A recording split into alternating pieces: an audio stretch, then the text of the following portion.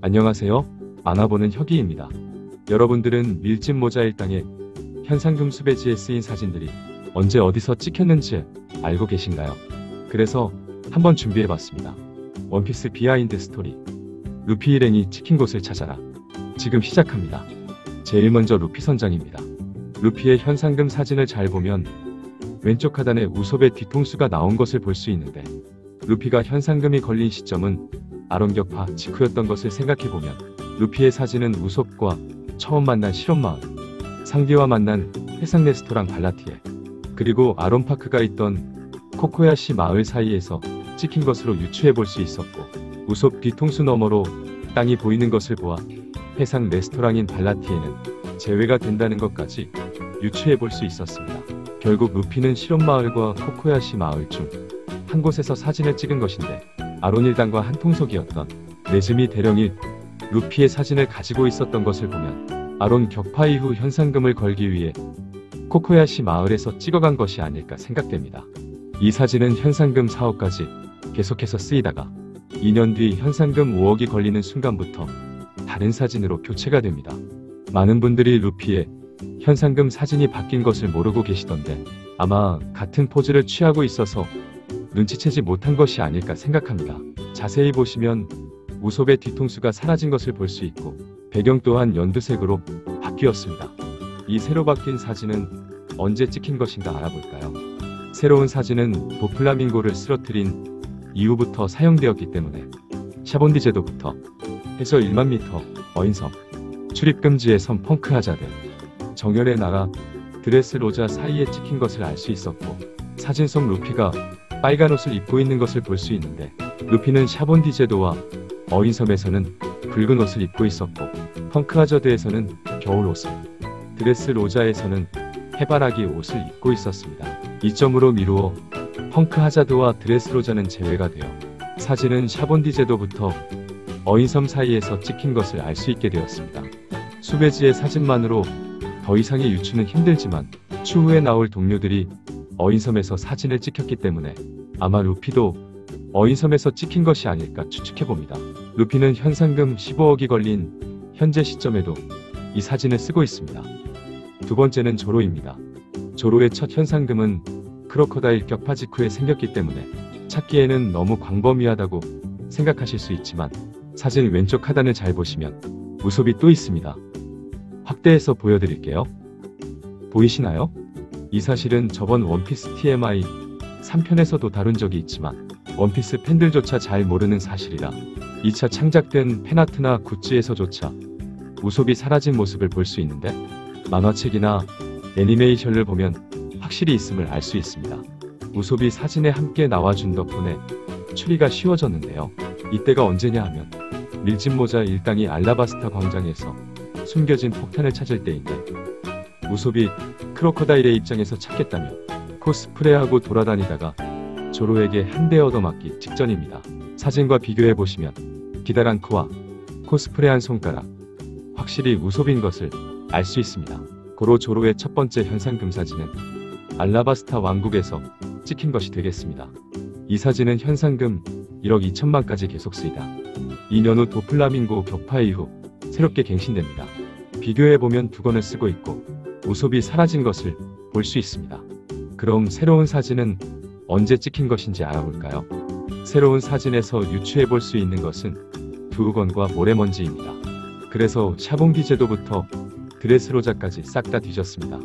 두우건은 어인섬 전투와 드레스로자에서 피카를 베어버릴 때 단 두 번만 사용했었고 현상금 사진과 비교해보면 드레스로자에서 두 건을 착용했을 당시에는 잔 상처가 있었지만 수배지에서는 찾아볼 수 없었고 결정적으로 조로가 두 건을 쓰고 있었을 때는 대부분 공중에 있었으며 입에 검을 물고 있었고 입에서 검을 내려놓았을 때는 벽에 매달려 있었기 때문에 배경과 일치하지 않는 것을 볼 수 있습니다. 이후 조로는 벽에 매달린 채로 두 건을 벗어버립니다.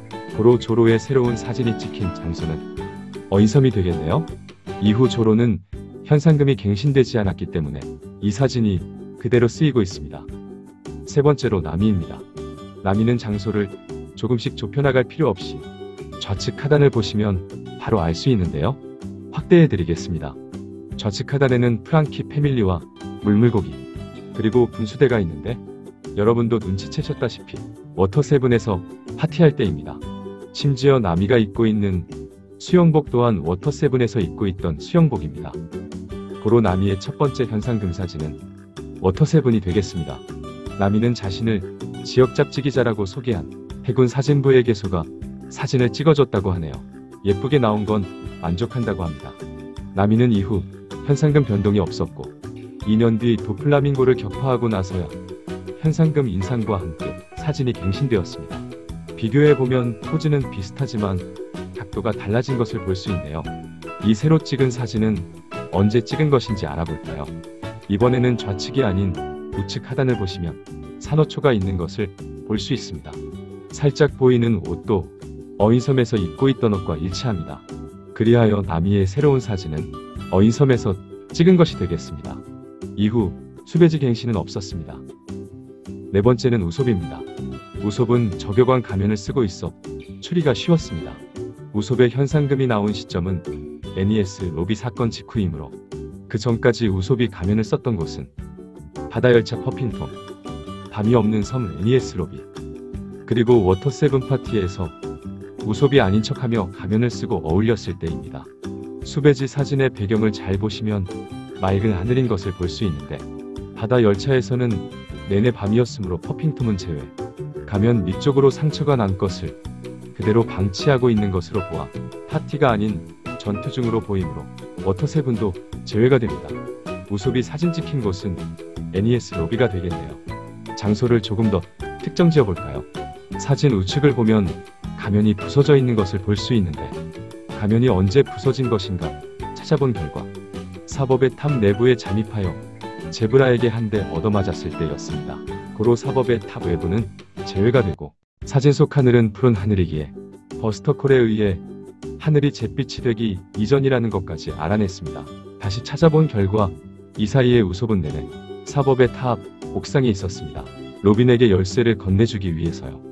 우솝이 사진 찍힌 정확한 장소는 에니에스 로비 사법의 탑 옥상이 되겠습니다. 이후 우솝의 현상금은 변동이 없다가 2년 후 도플라밍고 격파 이후 현상금 인상과 함께 사진이 갱신되었습니다. 비교해서 볼까요? 이제는 가면이 아닌 맨 얼굴이 나오게 되었고 이름 또한 저격왕에서 God 우솝으로 변경되었습니다. 이 사진은 아마 언제 찍힌 것인지 모두가 알고 계실 거라 생각합니다. 네, 바로 우솝이 드레스로자에서 장난감을 해방한 직후 하이로딘이 우솝을 들어올렸을 때입니다. 의상도 드레스로자에서 입은 의상이고요. 도로 우솝의 새로운 사진은 드레스로자에서 찍힌 것이 되겠습니다. 이후 수배지 갱신은 없었습니다. 다섯 번째는 상디입니다. 상디의 첫 번째 사진은 유감스럽게도 그림인데요. 해군 사진부에 속해 있는 아타치라는 남자가 상디를 찍을 때 실수로 카메라 렌즈 뚜껑을 열지 않는 바람에 검은 화면만 나오게 되었고 이를 대처하여 몽타주를 사용하게 된 것입니다. 때문에 상디가 우울해했던 기억이 나네요. 상디의 이 수배지는 2년이나 쓰이다가 도플라밍고 격파 이후 현상금과 함께 새로운 사진으로 갱신되었습니다. 비교해 볼까요? 먼저 몽타주였던 수배지가 드디어 사진으로 바뀌었네요. 또 생사불문이었던 것이 생포한정으로 바뀌었습니다. 이 사진은 언제 찍힌 것인지 알아볼까요? 눈에 띄는 특징은 하늘을 날고 있는 물고기와 하트로 변해버린 눈, 그리고 젖어 있는 몸입니다. 네, 여러분들도 눈치채신 것처럼 어인섬입니다. 세 가지 특징이 모두 일치하네요. 상디가 사진 찍힌 장소는 어인섬이 되겠습니다. 상디의 수배지는 특이하게 한 번 더 바뀌게 되는데요. 비교해서 보시죠. 제일 먼저 생포한정이 다시 생사불문으로 바뀌었습니다. 이름 또한 상디의 플레임인 빈스모크 상디로 바뀌었네요. 현상금도 1억 5,300이 올라 3억 3천이 되었습니다. 아쉽게도 제일 중요한 사진은 새로 갱신되지 않았네요. 상디는 1부, 2부 모두 굴욕사진만 쓰이고 있습니다. 여섯 번째로 초파입니다. 초파의 단서는 바로 줄줄 흘리는 침과 솜사탕이었는데요. 초파가 솜사탕을 보고 침을 줄줄 흘린다는 것은 솜사탕이 무슨 맛인지 알고 있다는 이야기가 됩니다.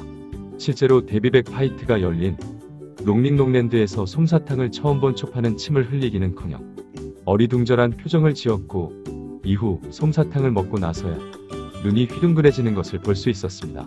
때문에 초파가 사진을 찍힌 시기는 솜사탕을 처음 먹어본 롱링롱랜드부터 현상금이 나온 NES 로비 사건 직후인 것을 알게 되었습니다. 더 이상 단서가 없어 범위 축소가 어려웠지만 새로운 단서를 발견하게 됩니다. 바로 사진 속 초파는 매 에피소드마다 메고 있던 가방을 메고 있지 않았다는 것입니다. 그래서 싹 다 뒤졌습니다. 초파가 솜사탕 맛을 본 롱링롱랜드부터 에니에스 로비 사건 직후 사이에 가방을 메고 있지 않았던 적은 메리호 안에 있을 때를 제외하고는 워터세븐 뒤풀이 파티 때 단 한 번이었습니다. 고로 초파가 사진을 찍힌 장소는 워터세븐이 되겠습니다. 이 사진은 계속해서 쓰이다가 2년 후 도플라밍고 격파 직후 현상금 인상과 함께 새로운 사진으로 갱신됩니다. 비교해서 볼까요? 구도는 비슷하지만 배경과 의상이 달라진 것을 볼 수 있고 현상금도 무려 두 배나 오른 것을 볼 수 있습니다. 이 사진은 과연 어디서 찍힌 것인지 알아보겠습니다. 이 사진의 힌트는 의상 단 하나뿐이었는데 초파 이 자식 남들 다 옷 갈아입을 때 지 혼자서만 펑크 하자드 중반부까지 안 갈아입었습니다. 펑크 하자드에서는 솜사탕을 먹을 상황이 아니었던 것을 고려해보면 샤봉디 제도부터 어인섬 사이가 될 것 같은데 아마 다른 멤버들이 모두 어인섬에서 찍힌 것을 고려해본다면 초파도 어인섬에서 찍힌 것이 아닐까 생각이 됩니다. 이후 수배지 갱신은 없었습니다. 일곱 번째로 로빈입니다. 로빈은 밀짚 모자 일당을 만나기 전인 20여 년 전부터 수배자였습니다. 수배지를 보면 일반 수배지와 다른 점을 볼 수 있는데 생사 불문이라던가 해군 마크가 없는 것을 볼 수 있습니다. 이유는 알 수 없지만 이후로도 계속해서 똑같이 나오기 때문에 오다쌤의 의도로 보이네요. 일반 수배지와 비교해서 볼까요?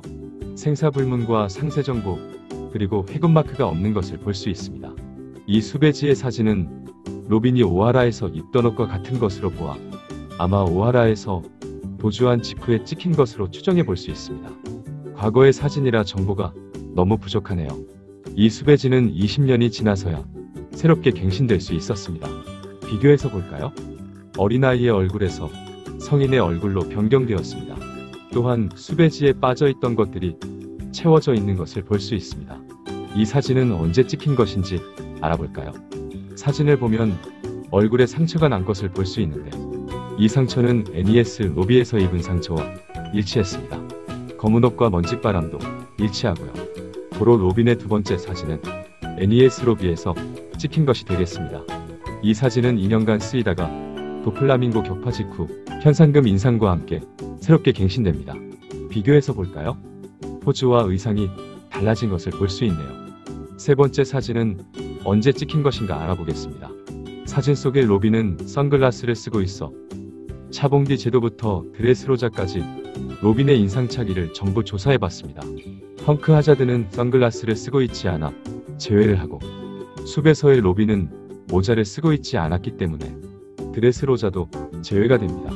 그렇다면 샤봉디 제도나 어인섬 둘 중 하나라는 것인데 사진 우측 상단에 꽃잎이 날린다는 것은 전투 중이었다는 것이므로 싸우지 않았던 샤봉디 제도도 제외가 되어 로빈이 사진 찍힌 곳은 어인섬이 됩니다. 이후 수배지 갱신은 없었습니다. 여덟 번째는 프랑키입니다. 정부는 프랑키의 본명이 커티 프람인 것을 뻔히 알면서도 수배지에는 프랑키라고 써두었네요. 이 사진은 언제 찍힌 것인지 알아보도록 하겠습니다. 먼저 프랑키의 이 상처 모양은 NES 로비에서 입은 상처와 동일하며 입고 있는 옷 또한 일치하는 것을 알 수 있었습니다. 뒤로 보이는 대포와 검은 연기를 보니 버스터콜과 대치하는 중인 것 같네요. 고로 프랑키가 사진 찍힌 곳은 에니에스 로비가 되겠습니다. 이 사진은 2년간 쓰이다가 도플라밍고 격파 이후 새롭게 갱신됩니다. 살펴볼까요? 얼굴이 맨 얼굴에서 프랑키 장군으로 대체되었고 이름 또한 별명인 프랑키가 그대로 쓰이고 있습니다. 드레스로자 메인 파티 중 유일하게 1억을 못 넘긴 사람이기도 합니다. 프랑키 장군은 어인섬과 펑크 하자드 단 두 곳에서만 등장했는데 사진 좌측 상단에 산호초가 보이는 것으로 보아 산호초가 있을 리만 무한 펑크 하자드는 제외가 되어 어인섬에서 찍힌 것을 알 수 있었습니다. 이후 갱신은 없었습니다. 아홉 번째로 브룩입니다. 브룩은 밀짚 모자 일당에 들어가기 무려 50여 년 전부터 이미 수배자였는데요. 로빈보다 30년이나 먼저 나온 수배지임에도 생사불문이나 해군마크 등이 모두 들어있는 것을 볼 수 있습니다. 이 수배지의 사진은 본편에 등장하지 않았던 과거의 사진이라 안타깝게도 추측할 수가 없었습니다. 아마 룸바의 적단 때 찍힌 것으로 생각됩니다. 이 수배지는 50년간 쓰이다가 도플라밍고 격파 직후 새롭게 갱신되었는데 사진이 아닌 소울킹 콘서트 포스터로 수배지를 대신하였습니다. 원래는 이렇게 생긴 포스터였는데 하단 부분을 삭제하고 현상금과 인적사항 그리고 생사불문을 새겨 넣었습니다. 만들려면 이런 식으로 만들 수 있었을 텐데 그냥 포스터에 대충 새겨 넣고 끝내버렸네요. 뭐 멋있기는 합니다. 이후 수배지 갱신은 없었습니다. 마지막으로 징배입니다. 징배 또한 밀집 모자일 땅에 들어오기 15년 전부터 이미 수배자였습니다. 사진 뒤로 돛대가 하나 보이는데 이 역시 그룹과 마찬가지로 본편에 등장하지 않은 과거의 일이라 어디 사는 누구의 배인지 알 수 없기 때문에 추측할 수가 없었습니다. 또 징배는 특이한 점이 있는데 현상금이 2억 5천으로 올랐을 때도 4억 3천8백으로 올랐을 때도 단 한 번도 현재 버전의 수배지가 등장하지 않았습니다. 때문에 현재의 사진은 추측조차 할 수가 없었습니다. 아마 와노쿠니 전투가 끝나면 일행들 모두 한 차례 현상금이 오를 텐데 그때서야 현재 버전 사진을 확인할 수 있을 것 같습니다. 재미있으셨나요? 긴 영상 끝까지 시청해주셔서 감사합니다. 처음 초안을 만들었을 때는 25분 정도가 나와 추리고 추린 내용인데도 길이가 제법 길어 놀랐네요. 이번 주제 특성상 수배지도 최대한 똑같이 그려야 했고 영상에 쓰인 컷수도 200개가 조금 넘어 만드는데 애 좀 먹었습니다. 나중에 시간이 흘러 일행들의 사진이 또 갱신되는 순간이 온다면 2탄에서 뵙도록 하겠습니다. 구독과 좋아요는 정말 저에게 큰 힘이 됩니다. 좋은 하루 보내세요. 안녕.